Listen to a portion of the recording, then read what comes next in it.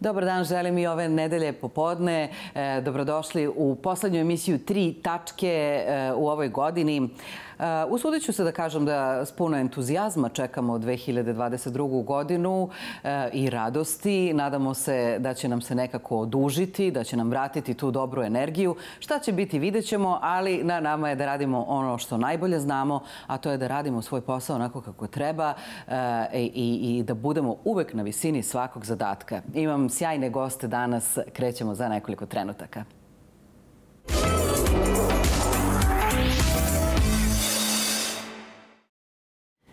Živa aktivnost na našem paviljonu u Dubaju traje već e, neko vreme, već nekoliko gostiju smo imali u ovoj emisiji koji su nam pričali o tome šta se tamo dešava, e, kakva je atmosfera, ko su posetioci i e, koliko raznih stvari se zapravo tamo dešava. To je ono što je stvarno sjajno.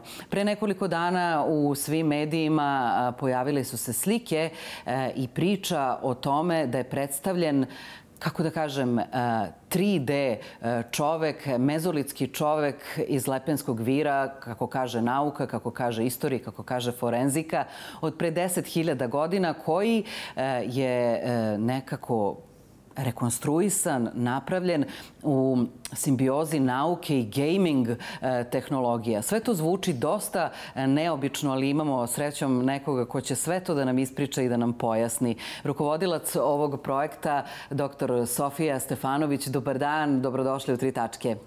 Dobar dan, poštovanje i hvala vam na pozivu. E, hvala vam što ste došli, tek što ste doputovali iz Dubaja. Stvarno ono što sam videla do sada u medijima je da je bilo jako uzbudljivo, ali ono što je sve nas posmatrače zaintrigiralo i zadivilo je koliko to neverovatno sve izgleda. I ovako kad se kaže spoj nauke i gaming industrije, zvuči dosta čudno. Međutim, napredak tehnologije kao i nauke može da dovede do neverovatnih stvari. Hajde da krenemo priču od početka. Kako je nastao ovaj čovek?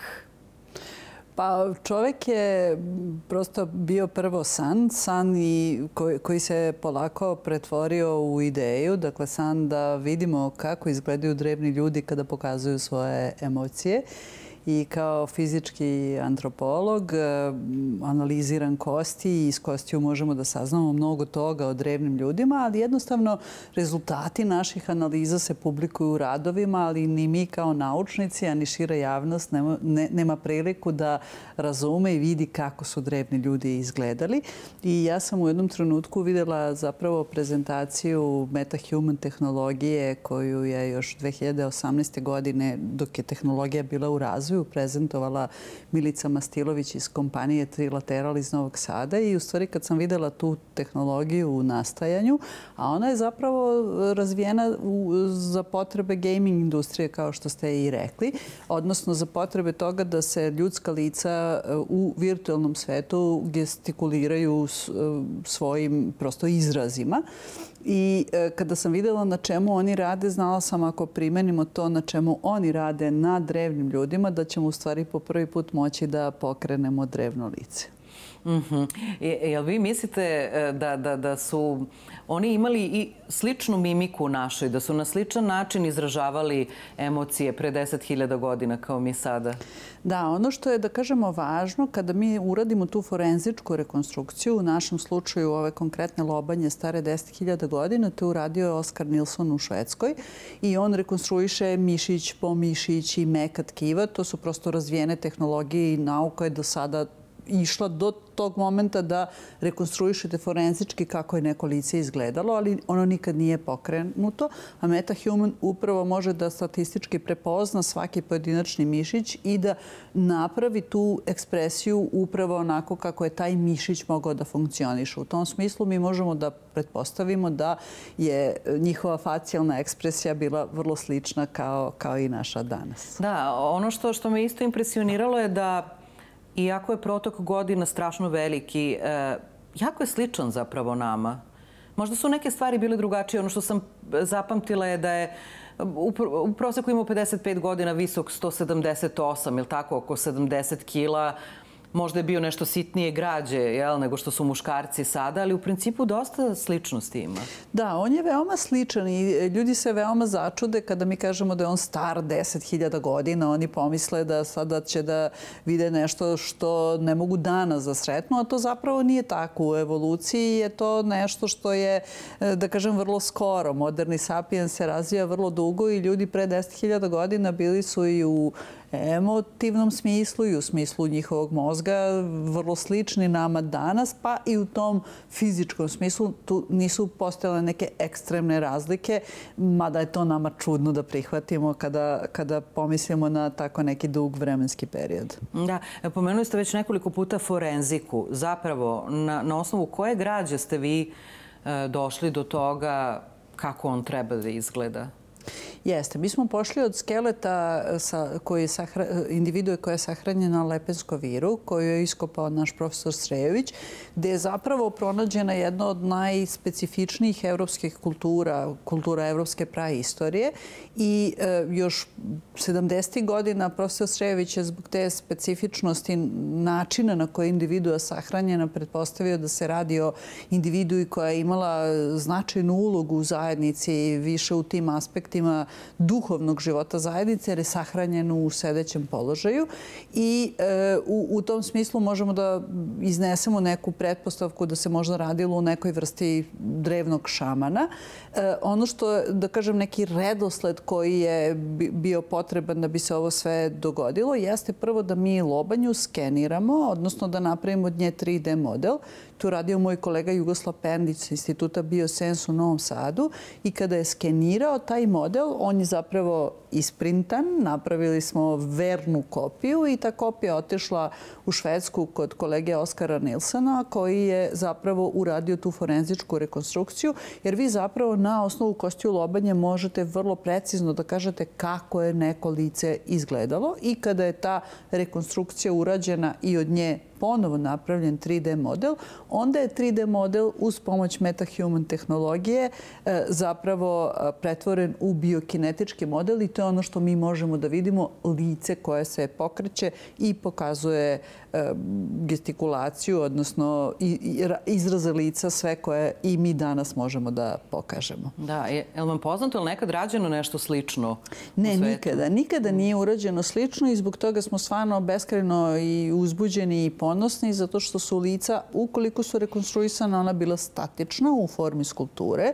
i mi u našem projektu imamo Oskarovu skulpturu samog lica koja je isto fenomenalna, ali zapravo kako se lice pokreće, mi do sada nismo znali, a nikada do sada nismo mogli sa nekim drevnim licem da komuniciramo, što smo u Dubaju omogućili posetiocima.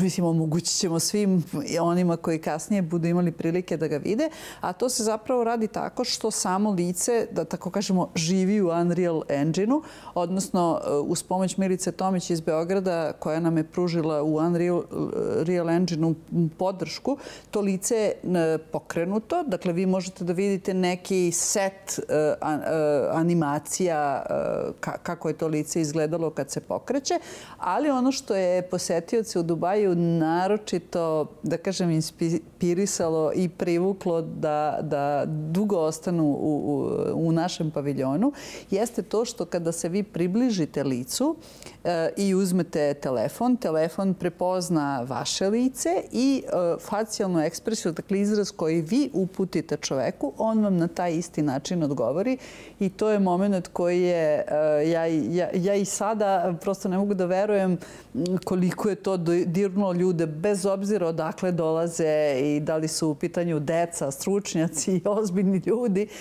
Svi su jednostavno bili jako uzbuđeni na tom mogućnošću da mu se na neki način obrate, upute osmeh i da on na taj isti način odgovori govori. To je toliko fantastično i fascinantno, ali na neki način i pomalo zastrašujuće. Dokle, dokle je sve stigla i nauka i tehnologija. Zapravo, um, sky is the limit, što kažu. Upravo tako. Jeste. Nekako delo je da sve postaje moguće. Jeste. Jeste. Mi, mi sad smatramo da kad smo ove protokole usvojili, prošli kroz njih i razumeli kako teče čitav proces, e, skelet osobe koju imamo, bez obzira iz kog je perioda, mi možemo da ga, da ga pokrenemo. Možemo da u virtualnoj stvarnosti napravimo susrete drevnih ljudi ili drevnih porodica. I ono što je meni, da kažem, možda i najuzbudljiviji aspekt jeste što ovo pruža mogućnost današnjem čovečanstvu da razume da su prošlost stvarali ljudi, da prošlost koju gledamo u, muzejima, ona jeste vezana za, za predmete, ali mi redko možemo i da vidimo ljude koji ih stvaraju, a i da uopšte imamo taj osjećaj da su ljudi ti koji su e, utemeljili sve ovo što, što danas živimo, a ovo pruža mogućnost da vidimo naučno utemeljeno kako su ti ljudi zapravo izgledali. Da. E, ima li nekih e, poziva i kontakata iz sveta? Ta pozornica velika na Expo u Dubaju je upravo koliko shvatam i namenjena tome i vi ste svojevrsna senzacija bili sad protekle nedelje sa ovim projektom. E, ovo što ste sada rekli malo pre zapravo mi deluje da će ovakvi projekti postati budućnost možda i nekih muzejskih postavki, jel? E, ili bilo kakvih drugih e, e, prikazivanja prošlosti? Upravo to što ste rekli, znači mi smo uvereni da je ovo što smo sada uradili zaista početak potpune promene načina prezentacije prošlosti u muzejima, jer će to omogućiti da prikazujete drevne, drevne ljude određenih kultura i njihovu međusobnu interakciju u virtualnom svetu. A sa druge strane, uvereni smo i neki muzeji su nas već kontaktirali da naš čovek Slepenskog vira bude prezentovan kod njih a, a naravno i da se uključimo u neke druge projekte, jer sad prosto arheolozi su do sada iskopali stotine hiljada ljudskih skeletnih ostataka koji negde žive u depojima u kutijama. Ovo je potpuna mogućnost da se napravi preokret i da to postanu stvarni ljudi koje današnje čovečanstvo može, može da vidi. I u tom smislu mi se nadamo nekim prodorima i ka filmskoj i ka gaming industriji zato što mi sad možemo da rekreiramo istorijske ličnosti i to je ono što je zaista uzbudljivo zato što ukoliko skeletni ostatak je očuvan vi možete potpuno autentično da rekonstruišete kako je ta osoba izgledala, kako se kretala, ne samo lice, ono na čemu sad radimo je bio kinetički model čitavog tela. Tako da se nadamo da će, da, da kažem, promene koje su e, počele od ovog našeg lica biti, biti velike u različitim sferama. Koliko dugo je trajao ceo ovaj proces i koliko je bio komplikovan? E, pa bio je komplikovan u smislu dok e, se nije shvatilo na koji način da se napravi protokol e, svih analiza koje je potrebno raditi na samim kostima da bi se analiza forenzička poduprla podacima o recimo genetskim podacima o boji kose, boji kože, boji očiju. To su sve bili procesi koji su trebali da se dese da bismo utvrdili i koliko je bio stari, čime se hranio i kako je živeo, kakve su mu bile fizičke aktivnosti, a u toku prethodne godine, dakle, sama rekonstrukcija i biokinetički model su proizvedeni. Dakle, da kažem, aj, proces je, godinu dana je dovoljno. Da, ali pretpostavljam da će svaki sledeći put biti sve lakše. Sada je to utabana staza i sve je poznato. Jeste, jeste. Što se lica tiče, jeste. Što se tiče čitavog skeleta, to je ono na čemu sada radimo, kako da ga pokrenemo kao čitavu figuru, jer to je, da kažem, e, taj moment koji će omogućiti da čitavu osobu možemo da, da, da predstavimo i da kažem, zanimljivo je. Zanimljive su reakcije ljudi, zanimljivo je šta ljudi predlažu da radimo sledeće i tako. Mislim, prosto su reakcije brojne. Da, vi ste inače profesor na Univerzitetu u Beogradu. Šta predajete? Jeste, ja predajem na Filozofskom fakultetu na odeljenju za arheologiju, mhm. predajem fizičku antropologiju i mi u našoj laboratoriji za bioarheologiju zapravo čuvamo 500 skeleta e, iz ovog važnog perioda praistorije kad su ljudi doživeli preživeli period neolitizacije i potpuno promenili svoj način, način života. Mm -hmm. Šta kažu vaši studenti na, na, na ovaj projekat? Jo, jako su srećni zato što, mislim, prosto za sve nas i naučnici nemaju priliku da rezultate svog rada vide u formi biokinetičkog Tako modela. Da. Prosto završi u naučnom radu i prosto je teško za prezentovanje, pa srećni su, ponosni i uh, svi imaju neke svoje ideje na čemu bi dalje trebalo da se radi. Svi imaju neke uh mhm. -huh. sugestije u odnosu na njihova interesovanja, ali negde su, uh, negde su i ponosni zato što je to što smo mi premenili nešto što je vezano za ipak mlađe generacije. I sam, mislim, MetaHuman, Unreal Engine i, i Epic Games koji, či, čiji je deo sada postao naš trilateral koji je zapravo u tehnologiju i osmislio, je nešto što je mlađoj populaciji poznato, tako da su ovaj, oni, da kažem, na taj način ponosni i što smo mi sad, da kažem, deo tih modernih tehnologija koje se ne vezuju baš često za, za, za strikno naučno da, istraživanje. Da, stvarno. Zato sam i rekla na početku ove priče koliko neverovatno zvuči sama prva informacija da su se spojili nauka i gaming industrija. Yes. To zvuči dosta čudno, ali sad ste nam pojasnili mnogo e, zato što gaming industrija zaista sa tehnološkim napretkom je prosto samo što još nisu napravili živog čoveka pravog. pa jesno, oni ljudi rade veoma da. ozbiljno. Da. Možda je neka naša asocijacija na gaming samo zabava, ali to su ozbiljni timovi, ozbiljne tehnologije gde vi, na primjer, i u Unreal Engine-u možete da rekonstruišete ako imate naučne podatke, čitav arheološki lokalitet, dakle naučno utemeljeno, samo je na nama da krenemo to da razumevamo i da što više primenjujemo i mi negdje u tom pravcu i razmišljamo da naše drevne ljude zapravo stavimo u pravih arheološki kontekst i da podignemo čitavo okruženje, jer mi zapravo Kada naučno istražujemo, mi imamo podatke i o biljnom svetu i o životinskom svetu. Mi znamo kako je neki prostor izgledao ne samo kad su u pitanju objekti, nego i čitavo okruženje i zapravo to okruženje mi možemo da podignemo na, na takvim platformama i da zapravo omogućimo današnjim ljudima da vide ne samo kako su ljudi izgledali, nego i kako je izgledala priroda tog doba i kako su izgledali objekti i predmeti koji su oni koristili. Tako da o tome sada, da kažem, maštamo da integrišemo ljude u njihovom okruženju i da oni krenu da koriste stvarne predmete koje mi imamo u našim arheološkim zbirkama, koje ljudi vrlo redko imaju priliku da vide. Zaista fantastično. Stvarno, to, toliko inspiracija. Sad pretpostavljam da se otvorio ceo jedan novi svet. Probili ste led i sad e, ko zna šta sve sledeće možemo da očekujemo od vas, ali u svakom slučaju jeste jedan veliki prodor, jeste i svetska senzacija, mogu tako da kažem. E, prosto to su rezultati koji su stigli iz Dubaja i hvala vam što ste našli vremena i došli danas e, kod nas na N1.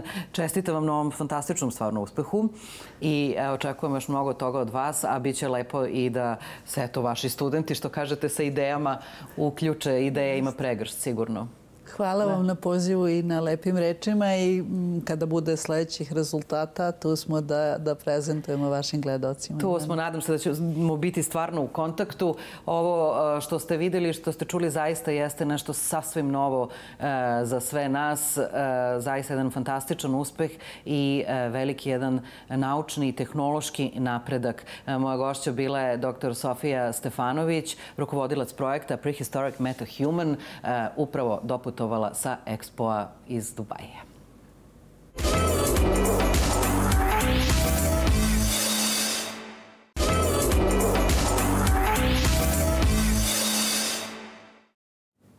Ono što je uvek lepo videti, a u ovom slučaju i čuti, jeste kada neki ljudi imaju da kažem tako, sadržajnu i bogatu karijeru, kada imaju kontinuitet, kada traju dugo i jer onda uvek znamo da iza toga stoji ne samo vredan rad, nego jedan ozbiljan kvalitet. Uh, one hit wonders uh, su uvek atraktivni i interesantni, ali prosto brzo prolazni. Ono što traje jeste ono što će i ostati i uh, drago mi je što danas opet imam priliku da popričam sa Majom Cvetković, band E-Play kao primer ovoga što sam sada ispričala. Zdravo i dobrodošla u Tri tačke.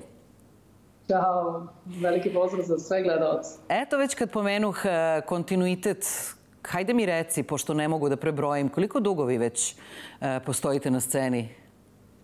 Pa, band Deeply postoji od 98. Realno, slavili smo pre korone 20 godina. Tako je. Tako da dosta postojimo. Imamo pet albuma, mogli smo više, realno, ali eto to je za sada bilo uh, kao neki, ajde da kažemo, uh, na svakih 4-5 godina po jedan. Da, ali ono, ono što jeste, e, što, što pot, može da potcrta ovo što sam rekla malo pre trajanje i kvalitet, jeste jedna otežavajuća okolnost, a to je ono kada nisi mainstream, kada nisi svima ispred nosa, kada uh, ne sviraš na svakom ćošku i na svakoj televiziji i na svakom radiju, nego kada si svoj. Uh, to ima svoju cenu, pretpostavljam. Pa dobro, to je tvoj neki lični izvor čime ti želiš da se baviš, kakvom vrstom muzike i naravno da, da si dovoljno, kako bih rekla, ne sad kao pametan, ali dovoljno da možeš da shvatiš koja muzika najbrže dolazi do ljudi, do najšire kruga ali pitanje je ono što ti želiš. Mi smo se odlučili da radimo ovo što želimo, dugi niz godina, e, znamo kolika je ta ciljna grupa, da to ne može mnogo da ide sad da, da, da bude milionski i ni tiraži, niti poseta, ali uživamo prosto u tome i imamo neki svoj, ajde da kažem tako, krug i ne znam, vremenom smo došli do, do nečega da, ajde, da, da su normalne okolnosti da bi mogli da živimo to. Da, e, se menjao profil publike vremenom. Šta zapažaš? Pa, um, zapažam to da, da malo ima podmlatka i to je ono što, što je naj, najveći problem, ali to vidim pravo da ti kažem i na koncertima Metalike. Tako da ovaj, e, klinci vole neku drugu vrstu muzike, ali e, mi smo za njih, e, sad kako vreme dolazi, neka egzotika, znaš, pa onda postoji i to da oni tek sad i otkrivaju Led Zeppelin i tako nešto, pa pa su im gitare opet negde i dosta i zanimljive. Ne mogu da kažem da ih potpunosti nema, mislim klinaca, ali da možda ne komuniciramo na baš pravi način sa njima, to, to sigurno stoji u smislu TikToka i takvih stvari gde oni, ajde da kažemo, negde vise. Da, kako se širi e, nekako dakle, dijapazon žanrovski s vremenom, naravno uvek postoji ono što je mainstream, e, a čini mi se zadnjih godina da se ozbiljno vraća i rock and roll, da se vraća neki taj alternativni zvuk, kao što se vraća i zvuk 80-ih. I ovi mladi novi bendovi koje ja baš s mnogo ljubavi e, i pažnje pratim, čini mi se da nekako idu na ruku e, zvuku koji, koji, na primjer, ti neguješ ili neko sličan tebi, a datira od pre 10 ili 20 godina. E, čini se da su to deca neka da kažem, naša deca koja su rasla u svoje roditelje na, na, na, na zvuku koji sada prepoznaju organski, tako mladi. Pa ima svega, ne znam, ne, ne znam kako bih to rekla, ali e, najbolje mi što su u medijima ovaj singl koji smo im zabacili sada sa gostom, ovaj, da, da svi pišu kao to je zvuk 80-ih negde. Mislim, ja ga, na primjer, nikad nisam tako kapirala, ali mi je, na primjer, drago, iako se na to nešto odnosi, zato što se sad radi o tom singlu koji smo izbacili zajedno sa Bajagom, gde nam je on gost i to mi je nešto što smo najlepše radili u ovoj godini, moram da priznam. Da, i zato smo tu danas da o tome pričamo. Zaista ste neobičan spoj, potpuno žandrovski nekako uh, različiti, generacijski različiti. Opet Bajaga nam je svima Bajaga. Svi želimo da e, poznajemo Bajagu, muzičari svi žele da rade s Bajagom, neki i dobiju tu priliku. Kako ste se vas dvoje spojili? Pa to je, baš, baš si lepo napravila taj uvod. Naprimer, samo da, da vam kažem, kad smo snimali spot, e, imao jedan deo u kabrioletu I sad vozili smo se kroz centar grada i ja stvarno nikad u životu nisam e, bila u nečem društvu da ima toliko publike koje ga voli. Znači, kako god je taj kabriolet negde usporio ili stao na semaforu, svi su ga pozdravljali i to je baš lepo videti koliko on ljubavi prima o, od svoje publike. Stvarno, baš ga, baš ga nekako svi vole, što kažu ono od, 70, od 7 do 77. E sad, druga strana, mi se drugo, dugo znamo, Meni iskreno nikad nije ni palo na pamet da, da, da ćemo ikad doći u, u situaciju da radimo nešto zajedno. Ovaj, I baš zato što se dugo znamo i možda što je bila i ova korona, mislim koja još uvijek traje, ali negde u tom februaru kada je dosta sve bilo nekako mrtvo, ovaj, mi smo potpuno na, nekim, na neku moju inicijativu, ali nedovoljno jasno, ovaj, smo počeli da radimo da bi svoje vreme nekako iskoristili što dragocenije. I onda Mic po Mic smo, ja sam imala neki kostur osnovni, on je napravio svoj tekst, e, tu prvu polovinu, ja sam kasnije napravila moj i onda kad smo to sklopili, onda smo shvatili da za to treba stvarno da se potrudimo, da je to jako simpatično, dopalo se i meni i njemu. Onda se Loki pridružio sa njegove strane koji je stvarno dao jedan sjajan ukras i Nemanje sa moje i onda je to dobilo nekako pravu sliku i onda smo rešili ajde da uradimo i spot pošto nam se stvarno dopalo. I mi smo realno uživali baš pogotovo oni ja u celom tom procesu ali cela ekipa oko nas. Tako je bila neka lepa energija a opet vam kažem mislim dugo se i znamo. Nije to da sad kao od juče on je vjerojatno i godinama pratio moj rad i, i bio upućen u nekim moj kao razvoj možda je shvatio da, da sam sad u nekom naj, ajde kažem možda naj, najboljem periodu i najzrelijem negde kao, kao muzičar pričaš. Da, vidiš sad, evo, pričamo o Bajagi, nije sad trenutno sa nama, ali i ovaj ceo protekli period, e, čini mi se da je neka kao nova faza e, u njegovom životu. Osim što radi svoju muziku, otvorio se e, i ka raznim saradnjama s kolegama. Znam da je s Vukašinom Markovićem radio nešto nedavno, pa evo sa tobom radio je muziku za film Dušana Kovačevića. Svaka faza u životu muzičara donosi neku novu vrstu zrelosti, a s druge strane i želju za eksperimentisanjem. Gde bi ti volela još da eksperimentišeš? Pa znaš šta, mi stalno od početka, ja otkad sam u muzici, ja dosta i eksperimentišem. Nekako, e, na primjer, za našu saradnju sa Matijom Dedićem, su ljudi isto nisu mogli da veruju za taj spoj. Mi smo čak uspeli da održimo jedan ce, ceo koncert sa njim, gde on potpuno u svakoj pesmi bio pri, e, zastupljen I sada kad smo imali u Domu omladine koncert, isto nam je on gostovao na pesmi Iluzija. Naprimer, to mi je isto bio to neki jazz prizm koji je krajnje nespojim, a u stvari je super legao na našu muziku. E, takođe, na primjer, gost nam je bio banda iz grupe Sunshine, sad u Domu omladine, grupa Arta Lili i sve su to neke stvari gde, gde mi, ajde da kažem, nekako sa nekim drugim pravcima, dobro, ne mislim samo na Arta Lili, e, tu smo negde i slični, ali gde, gde želimo da istražujemo. Znaš, jako je lepo u muzici kad ti možeš sebi da daš oduška, da, da radiš apsolutno šta god hoćeš i to je ono što smo pričali na početku priče. Ti nemaš uopšte... E, prosto radiš kako ti misliš da treba. Ne podilaziš ničemu i nikome i to je za umetnika negde i jako važno. Tako da, a s druge strane opet je lepo videti ajde da kažemo, Bajagu u tim godinama kako je i dalje stvarno plodonosan, i dalje produktivan, i dalje su mu dobre ideje, i dalje ima taj žar pokretački, tako da jako je lepo videti da mu je stalo do muzike i najlepše od svega je videti kako se on tome raduje. Tako da, lično, eto, to je pravi primer kako treba ići i gde treba doći da, da ovaj, i svaki njegov period je jako lep životno. Mislim, kad pogledate sve faze kroz koje je on prošao kao muzičar. Jeste, on je stvarno inspiracija svima i muzičarima i nama koji nismo muzičari. E, prosto neraskidivi deo naših života, čovek sa večitim osmehom. I vratila bih se sad pre nego što pogledamo spot e, e, upravo na njega. Mnogo vam je sladak taj spot i to što si rekla malo pre stvarno jeste mnogo slatko. Pretpostavljam da ste mnogo pažnje privlačili snimajući ga? Pa jesmo, da, da, da. Ceo taj proces snimanja je bio dugotrajan zato što je e, bila velika produkcija i e, oko toga se, mislim, imali smo do, e, jedno pet snimajućih dana, realno, i bio je septembar, naravno kišni, što bi rekao Saša Gavić, gde je Bajega, to je kiša, jer je aludirao na nje lepe. da, da, da.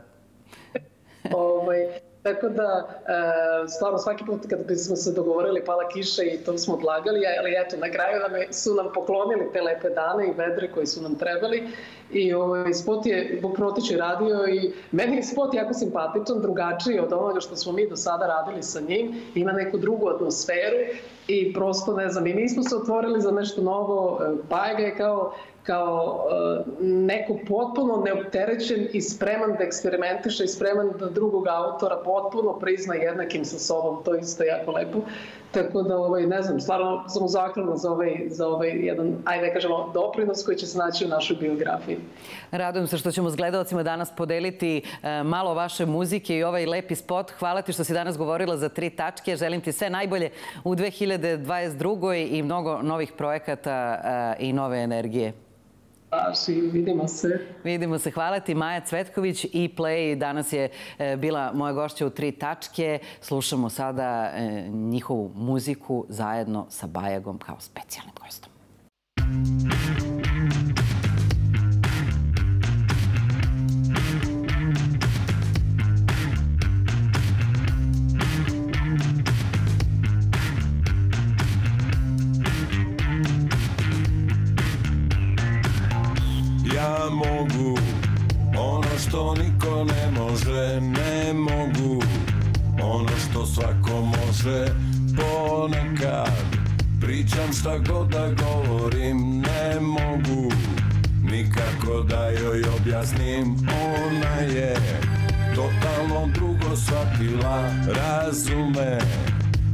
šta me ne kapira Ja mogu da probam da joj ponovim Al znam da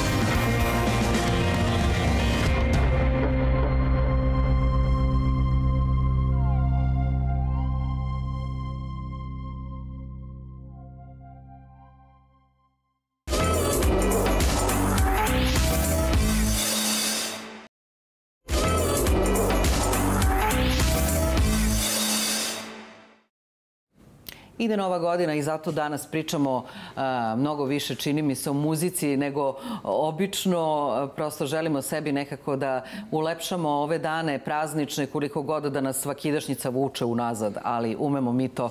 E, moj gost danas je Aleksandar Mitrović, acart, kantautor. Zdravo i dobrodošao u Tri tačke. Zdravo. Uživo ovog puta, drago mi je. Mada korona još uvek traje, ali nekako malo smo se svi odvažili, pa se tako e, muvamo, družimo, a i uželili smo se e, živog kontakta. Mislim da je to prevashodno. Mislim da je to, da. E, čini mi se da vama umetnicima ova korona možda pala na neki način i lakše nego onima koji nisu umetnici. Vi umete to da se zatvorite u svoj svet i da stvarate neometano.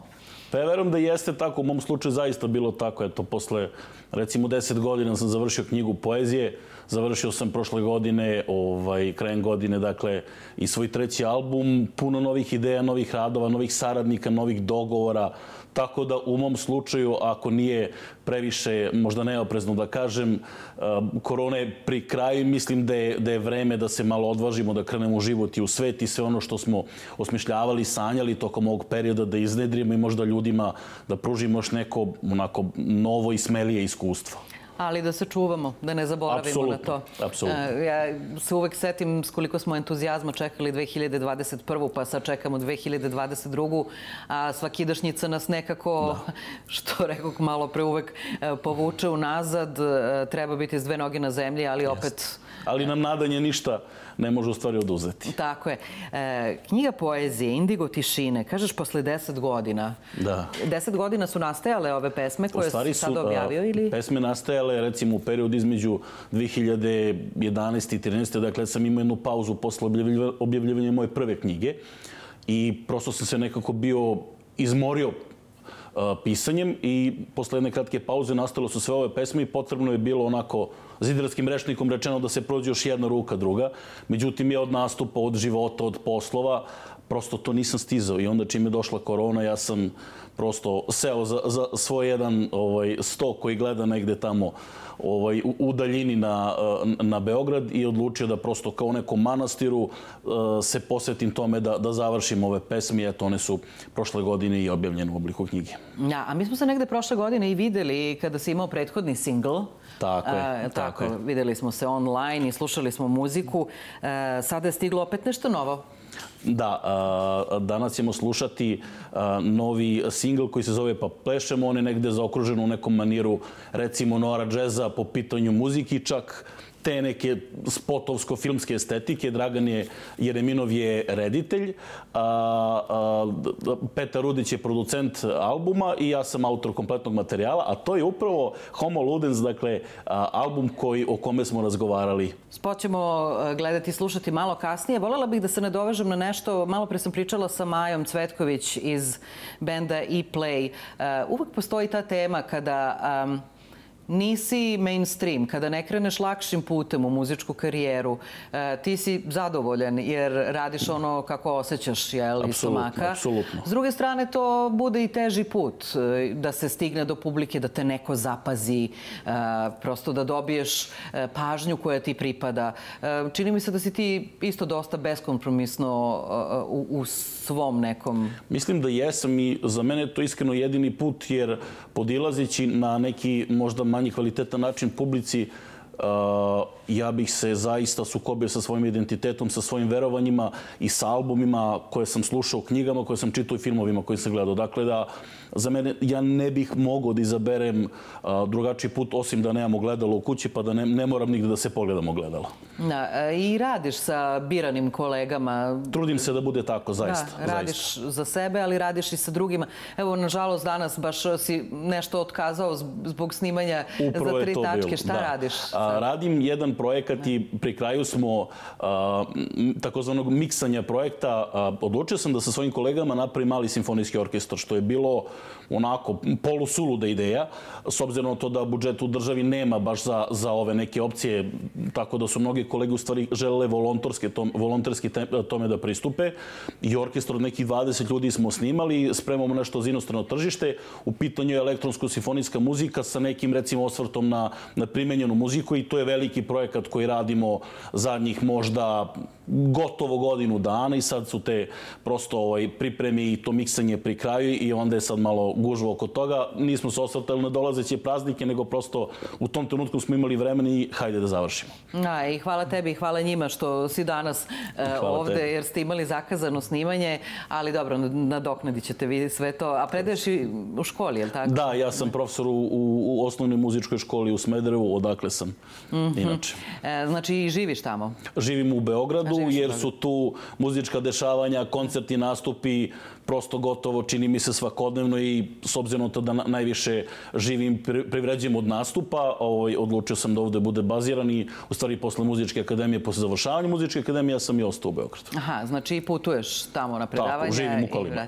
vra- Živiš u kolima i u studiju. Tako, apsolutno. Hvala Bogu i u studiju. Da. E, jako je interesantno i mnogo je lep spot e, koji ćemo Hvala. gledati danas. E, ba, baš je onako neobično. Pa želeli smo da, da, da bude... Pesma je u stvari, ako možemo da zamislimo, dvoje ljudi koji su bili a, strahovito bliski i koji osim te a, fizičke bli- bliskosti u datom trenutku više nemaju ništa zajedničko. Oni su pod ne- nekim okriljem noći, neke urbane sredine, nekog velikog grada i jutro im u stvari u samom tom tekstu ne donosi a, smiraj, nego im donosi upravo razrešenje situaciju gde oni svi ostaju sami. Ima stih jutro što donosi ptice, čekam sam. I tu samoću smo želi da prikažemo u jednom tom, recimo, uh, fazonu, kako kažem, i, i video i audio estetike. Spot je radio, dakle, Dragan Jereminov i dobili smo na korišćenje Centar za kulturu u Smederevu veliku salu, jednu ogromnu salu, u kome smo sve snimali i gotovo je sve nekako iz jednog tejka u velikom, velikoj meri išlo. Imali smo plesači, imali smo orkestar violina, imali smo jazz band i prosto smo hteli da tu neku zadimljenu atmosferu iz recimo jazz klubova u 50. godinama prošlog veka želi da prikažemo sa tekstom koji je prosto savremeniji, ali non stop iz njega e, isijeva neka samoća i neka prosto otuđenost od nekog za koga ste prosto nekako bili vezani i sjedinjeni, a sada su prosto svi ostali e, sami u toj celoj e, podeli novoj. Da, slušam te kako pričaš e, sa koliko energije i emocije o tome. E, vidim da, da, da je negde duboko bila ta pesma i e, samo je izašla. Pa u stvari ja se trudim da svaku duboko proživim, ali, ali zaista i dugo se to kuva u meni dok, dok ne obličim, dok ne napravim, jer uvek postoji koncept da se pesma napravi za dan. I to može, ali ja nisam sklon da, da verujem da, da, to jest da želim tako da se ponašam, tako da sve što radim dugo naste, dugo se kuva, dugo, dugo se radi. Nekako bi mi bilo sramota da nešto nedorađeno bude ili da neka rima ne bude potpuno sređena. Moji su uzeri od Arsena do Balaševića do, ne znam, Alekse Šantića, tako da čini mi se da ako se gore nekad budemo sreli, da mi je bilo sramote da im izađem noći da sam nešto prosto uradio ofrlje. I pesnik i vrstan muzičar, e, kant autor drugim rečima, čovek koji stoji iza svega onog što radi, a čuli ste radi dosta i sa svojim kolegama, čovek koji je sav u muzici i umetnosti. I hvala ti što si bio e, moj gost danas. Hvala Drago mi je da smo se videli e, i slušamo e, najnoviji singl Acarta. Et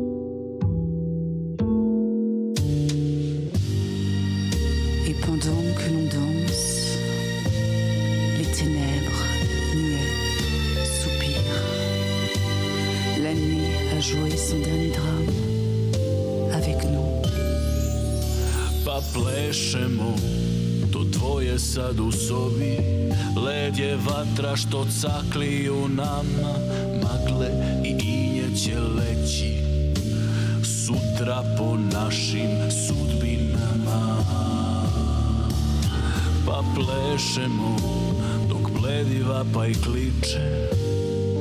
Prazne su reči sve u nama Jutro što donose ptice. Čekam sam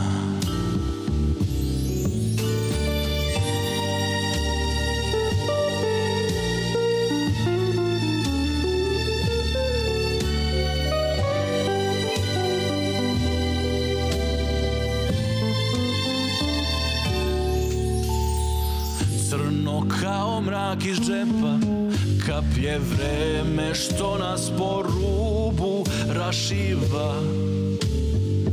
I što tama obeća Jutro gazi sve što je milo Otima.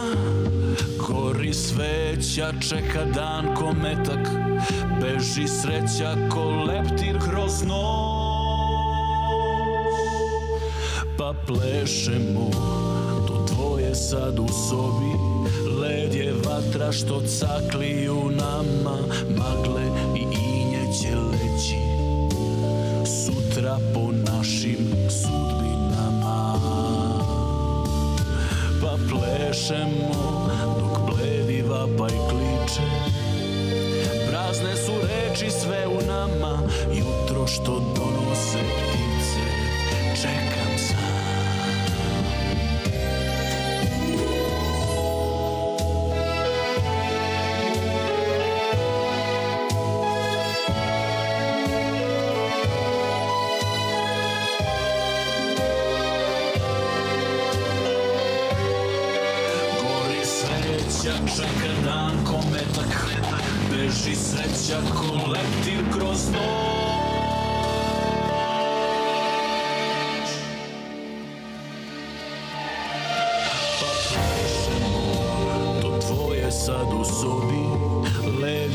je vatra što cakli u nama Magle i inje će leći Sutra po našim sudbinama.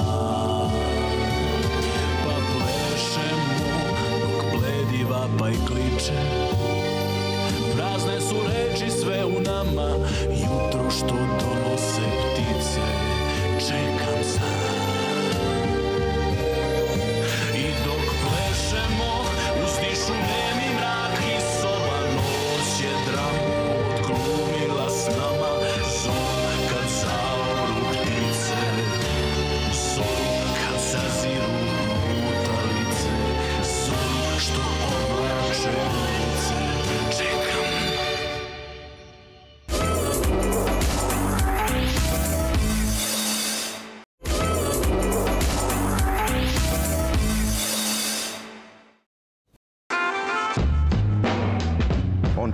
jeste seljak.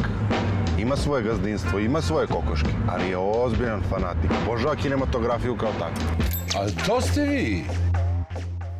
A gde ste vi do sad?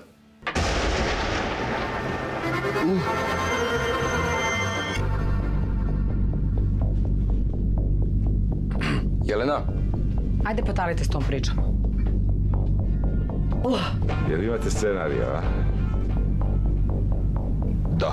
Evo, slušaj, brate, scenario koji si ti napisao. Imam jedan problem. Koji? Dobro jutro! Ja mislim da sam došao do ideje kako da rešimo ovaj naš mali nesporazum. Ali pod jednim uslovom. Ne smete ništa da menjate. Stidljiva ona. Nema, srameživa to. Šta da radimo, žensko? Ne verujem vam. Molim sunce, tatino. A gde ste vas dvojica mislili da krenete bez mene, a? Tatino je divno zlato. Ovo zajebano, bre. Viš da ti očistim dušu. Imam sjajne mlade goste danas e, kao goste u emisiji. Želim da im čestitam na jednom fantastičnom uspehu od pre nekoliko dana. Nažalost, nisam e, bila lično prisutna, ali sve što sam čula je da je, osim što je film e, sjajan, bilo je jedno prelepo i emotivno i vrlo svečano veče. A o filmu Čistač duše Lane Radošević čula sam da je zaista nešto onako jako interesantno u ovom trenutku i imat ćemo svi priliku, nadam se da ga vidimo. Čestitke, momci i devojko. Lana Radošević, producentkinja inače, ali u ovom slučaju rediteljka filma, o tome će nam pričati danas kako se to dogodilo. Nikola Stanković i Darko Ivić, glumci. E, Čestitke i vama. E, Kako to da si ti iz sveta produkcije odjednom postala reditelj? I to uspešan. da citiram Darka na premijeri, sam ja dokaz da svako može da se bavi režijom. Šalim se, to je, to je bila šala i tada. Pa ne znam, vučem ja tu želju možda i od ranije, samo što se moguće nisam osjećala dovoljno zrelo i iskusno i hrabro do ovog trenutka da to i pokušam. Mislim, ovo je tek eh, prapočetak, s obzirom da je prvi film, a nadam se da ću nastaviti da se bavim i produkcijom i režijom. Da, vas dvojica ste vrlo mladi, neko s više, neko s manje iskustva. E, međutim, pretpostavljam da ste znali šta radite kada ste ušli u, u, u ovu Laninu priču. Da. Ok. Ajde, ćeš ti. Da, da, poznavali smo, poznavali smo Lanu ranije, radili smo s njom. Znamo kako, ovaj, kog, je senzibiliteta. pa smo negde sa, sa, sa njom i negde i pomagali joj da negde te prve, prve rediteljske korake napravi najbolje što može, nekako da bude na, nekako naša priča, što kaže ovaj Tika Stanić u filmu. Da, u filmu igra nekoliko starijih e, publici, vrlo poznatih glumaca. Ja sam baš nekako radosna da ste vi e, e, mladi danas tu. To je onako bio jedan in- interesantan miks i generacijski, a Svega, da. o- upravo se zapravo radi o vašem svetu, u ovom filmu. Pa jeste. Prvo, svi mi koji poznajemo Lanu znamo koliko je uporna i koliko je istrajna. I mnogo je lepo da neko od mlađe generacije tako predvodi svoju generaciju na taj način. Ja sam je upoznao još pre nekoliko godina. Ovo je nama već četvrti, peti projekat koji radimo, tako da iako smo mladi, mislim da, ovaj, da svako od nas ima dovoljno iskustva. E sad, kada smo čuli za njen koncept tog filma, kada smo čuli za njenu želju tog filma, to jeste malo kinematografska priča. Tiče se svih nas. Jeste privatna i onda je na nama bilo da to što slađe, što lepše i što luđe uradimo, pošto je takav koncept. Dakle, koncept je komedija i to komedija koja ovde najčešće nije upotrebljivana. Dakle, nešto malo, malo više u stilu, malo više u absurdu i tako. Jako je lepo bilo. Mhm, a možemo malo detaljnije nešto da čujemo? O priči O- film. o- o priči. Naravno. Da, Nikola je jedan od glavnih likova zajedno sa Andrijom Dujovićem, koji je takođe producent po originalnoj struci kao i ja i opet i on je na neki način debitant s obzirom da je ovo prva njegova uloga pa glavna i njih dvojica se upuštaju, mogu da kažem, u avanturu da pronađu novac za svoj film, što je tabu i mrak svakog producenta, ali ja to smatram producentskom umetnošću zapravo. I onda na tom putu, što bi Johnny rekao, neki mali ih malo pogrešno sprovede. Da li je to karma ili sudbina ili splet okolnosti, ali oni se nađu ne baš zavidnoj situaciji zarobljeni kod ratnog veterana Ljubomira Pandovića. Sad kako se izvuku iz te njegove krčme i kako dođu na kraju na taj pič kod eh, Tihomira Stanića, to, to, to će ljudi da gledaju u filmu ili su već videli. Ali jeste što, što Darko kaže e, e, privatno jer se tiče naše profesije, ali mislim da može da se prenese na život e, generalno. Da. Vrlo je životan što se tiče i same podele ovaj, ljudi koji se pojavljuju u filmu, vrlo oslikava našu zemlju. U dosta situacija svako od nas ko se bavi umetnošću je bilo, bio u sličnoj situaciji da mora nekom gazdi kafane da objašnjava zašto on treba da mu da dve stolice za kadar, a da gazda kafane onda uslovljava nečim ovaj vaš film ili vaš projekat. Tako da mislim da je onako jedan lep pomaž bavljenja našim poslom i mislim da eto da, da je stvarno i Ljubomir i Milica i tako da kažemo malo poznatiji glumci da su stvarno svako od njih se odazvao i dao sve od sebe. To, to je jako bitno za mladu ekipu zato što često dobijate poziv da, da radite nešto što vam se baš i ne radi, a ovde se nekako vidi da, je, da smo svi zajedno ušli i sve snage u, u priču. Da, ko je pisao priču? E, Aleksandar Teokarević, Mhm. scenarista s kojim planiram zauvek da radim.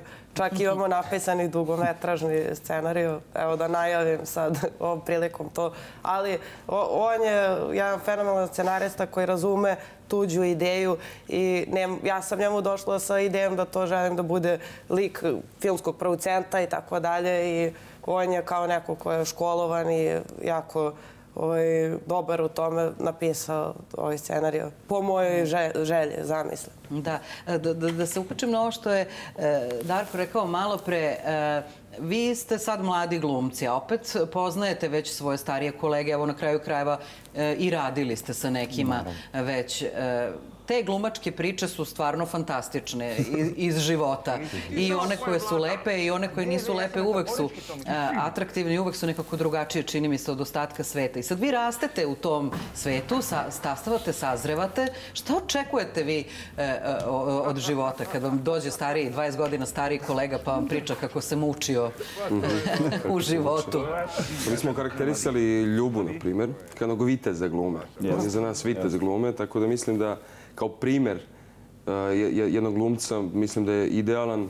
Takođe postoji druge kolege koje su, su isto ovaj, zaslužne zapravo za to da kad smo mi bili mali smo poželjeli da se bavimo ovim poslom i mislim da se uopšte nisam, mislim da nije niko zapravo od mojih kolega razočaran u, ne znam, težinu posla, jer nekako volimo. Bila je ta anegdota jedna sa, sa snimanja baš gde smo, ne znam, u pola tri ujutru sa Ljubom snimali i jedan od producentkinja je pitala Ljubo, hoćete da sednete, hoćete da odete nešto da se sklonite? Kaže, pa naravno da ne, ja volim da radim ovaj posao. Tako da njemu to i u tim godinama, mislim, i u, u tom trenutku nije smetalo, baš zato što voli da radi, mislim da je to negde najbitnije. I mislim, eto, nadovezu, nadovezu bi se na Nikolu da je Elan jako bitan u našem poslu. Nekako su mi naj... Najviše sam se divio starijim kolegama za koje vidim da i dalje prihvataju i rade ulogu kao da je prva. I to čuvanje elana, to čuvanje, to i jeste viteški što je rekao Nikola, da vi dođete na jedan set sa boga mi 30 godina mlađim ljudima i da ih vi vodite, da vi dajete energiju, da vi budete pokretač, to je stvarno velika stvar. Tako da, eto, mislim da... Da. Inače, za one koji ne znaju, postoji jedna lepa tradicija u vašem poslu, a to je da e, starije kolege praktično nikad ne odbijaju da igraju u studentskim filmovima, da strašno podržavaju studente, e, da naravno to rade e, pro bono i koliko god da imali posla, uvek su tu za vas. I to je neki, to su neki krugovi koji se nikada ne zatvaraju. Prosto iz generacije u da. generaciju to izgleda tako to je divno. Pa jeste, eto, Ljuba je baš sa naše, on je došao na naše snimanje sa jednog snimanja, a onda je na premijeru, premijeru smo morali da zakažemo u pola šest kako bi on mogao da stigne da odigra predstavu. Što mislim je stvarno svaka čast. Da. Ovaj film je, je zaista ono nešto drugačije što kažu. Ta, tako su mi e, svi koji su bili prisutni ushićeno ispričali i bit će još prilike da ga vidimo. Ko nije bio na premijeri u Kombank dvorani pre neki dan, igraće neki, e, emitovaće se na nekim festivalima, tako? Tako je, naš plan je da ga prijavimo na što više moguće kratkometražnih festivala, pre svega na Martovski, što je jedna velika čast da film gostuje. Takođe da ispratimo ovaj trend sa humanitarnim akcijama i da organizujemo još projekcija koje su isto u tom karakteru. Tako da mislim da će biti dovoljno prilika za sve zainteresovane da pogledaju naš film. Da. E, jako e, važan deo priče vezan za ovu premijeru je upravo to da je to bila humanitarna e, projekcija za vašeg kolegu oko kojeg ste se svi okupili, mladi umetnici u ovom proteklom periodu, dosta uspešno do sada. E, kako ste organizovali to? Pod- Organizovali, organ- organizovali smo humanitarni, uh, humanitarnu projekciju uz pomoć uh, Podrži život kampanje i uz pomoć kampanje Dečiji svet koja se bavi ovaj, skupljanjem, uh, skupljanjem Da igračaka, preko sto paketića smo samo za decu za, za decu bez roditelja i negde mislim da smo uspeli u toj nekoj maloj misiji našoj koja je to bila konkretno humanitarna, a povod je bio, bio film. Da. Tako da, eto, to je to. Spojili smo nešto što je lepo i nešto što je efikasno, odnosno potrebno. I mislim da, eto, da je najvažnije zapravo highlight premijere bi bio to, da su ta deca dobili paketiće i da smo radili za njih. Tako da, eto, mladi umetnici da I podrže. nismo jedini, nismo jedini koji Da. se time bave. Naravno, Da, da. ovo je naš skromni doprinos. Da. Hvala vam što ste takvi, što mislite, e, što, što empatija i dalje postoji među mladim ljudima. Strašno ne volim da čujem da su ova e, čudna vremena učinila nove generacije e, grubljim, sebi okrenutim i tako dalje. To uopšte nije tačno. Nije, stvarno. Vreme jeste drugačije nego kada smo mi bili mladi, ali uopšte nije tačno i nemojte to nikada da govorite. Čestitke još jednom na ovoj divnoj premijeri i na super filmu i prvom sledećom prilikom ga gledamo, bit će gledalci obavešteni, pratite e, šta se dešava i vidimo se uskoro sa novim projektima. Hvala, hvala vam. Hvala vam što ste bili moji gosti. A vama hvala što ste nas e, gledali ove nedelje. Vidimo se ponovo sledeće već u novoj godini. Doviđenja.